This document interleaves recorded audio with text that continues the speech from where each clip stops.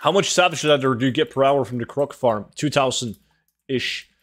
And it's funny because the uh, I say it all the time, but the baby croc farm is one of those farms where it's not really based on luck, it's based on efficiency.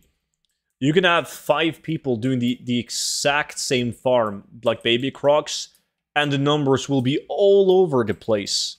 Some people get like a thousand, some people get 2,200, some people get 1,200, 1,500. And people can make consistently 2,000 plus, and some people only make consistently a 1,000.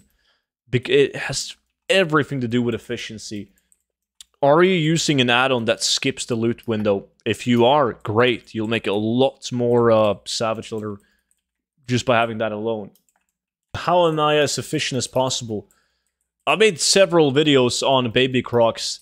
You need to have, obviously, Darkmoon Firewater, because it will allow you to uh, skin the mobs faster.